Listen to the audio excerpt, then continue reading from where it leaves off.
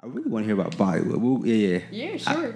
so Bollywood was my first uh, kind of exposure to dancing. All right. If you want to know a little bit about Bollywood, essentially it's um, the dancing you see in in Indian movies. It's like the Indian Hollywood, right, or what? Basically, yeah. Indian Hollywood. You take out the H, replace it with a B. Right. Okay. Yeah, yeah, yeah. you know I mean? But um, in in Hollywood or in Bollywood movies, um, you have uh, musical segments. Right. I said a lot of them are musicals, right? They're, it's so crazy. It's like watching a Broadway theatrical. Okay, showing up. Yeah, yeah. And so there's literally an entire industry of Bollywood oh, yeah. music, right. dancing, uh, the the outfits they wear, all the costumes. It's all part of the Indian culture and customs. Mm.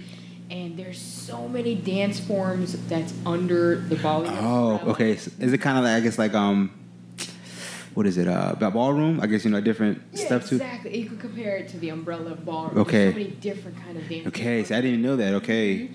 And so what I did in the Bollywood world was uh, a North Indian style of dance, mm-hmm. which is mm-hmm. bhangra.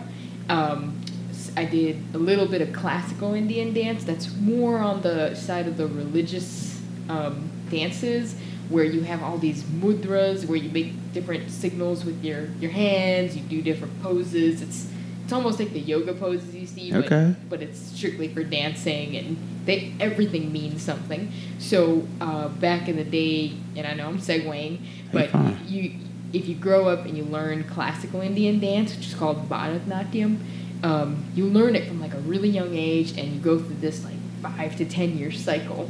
You learn all the movements, you master them, and then when you finish that that kind of program, you like end it by doing a, a, a live performance, of live instruments, and you've got to basically like execute all the movements you learned on stage. Oh wow! Live equipment, so so li- to live on instruments, so you don't know what's coming.